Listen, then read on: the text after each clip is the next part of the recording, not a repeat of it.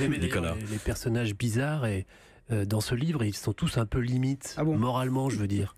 Du point de Ah vue bon de la- du reste de la société, en tout cas, vous les jugez pas.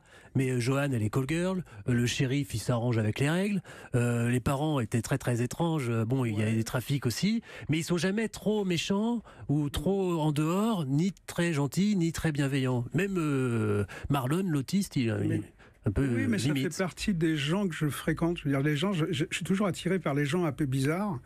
Mais il faut pas qu'ils soient complètement fous non plus, ça, parce qu'après, ouais. je peux plus communiquer avec eux. Donc, c'est des gens bizarres, mais que j'aime quand même, parce qu'ils sont pas non plus mainstream. C'est pas des gens qu'on rencontre en train de faire la queue euh, à un guichet. Bukowski, par exemple, disait quand je- j'arrive dans, dans un endroit public où il y a la queue d'un côté, je regarde pas, je vais là où il y a personne. Donc, c'est ça aussi, faire un pas de côté. Mais en littérature aussi, l'idée, c'est de faire un pas de côté, de regarder en changeant l'angle.